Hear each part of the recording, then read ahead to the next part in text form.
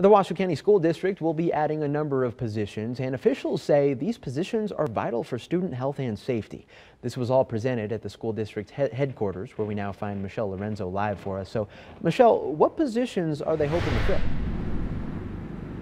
Well, Ryan, the school district is looking to add 50 mental health workers that would be working on a full-time basis, as well as eight new school police officers and a position that's entirely new to the school district called a threat assessment officer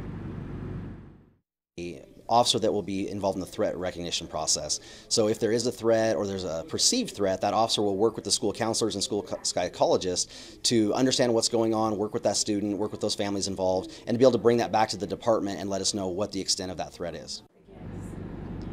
Now, all of this information was presented today at the school district's Safe and Healthy Schools Commission meeting. Now, the new officers will be assigned to middle schools, and officials say all of this is possible because of a $7.1 million grant the school district will receive from the Department of Education. This follows SB 89, which was passed in the recent legislative session that supports school safety. In addition to the positions, the funding will also go to academic supports like social emotional learning and alternative mediation, which is a form of conflict resolution resolution for students in a school setting.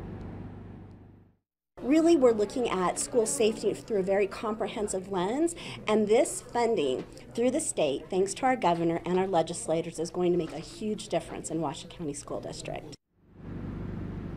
And tonight on 2 News at 11, we'll have more details and we'll also talk about the hiring process. Covering School Watch, Michelle Lorenzo, 2 News.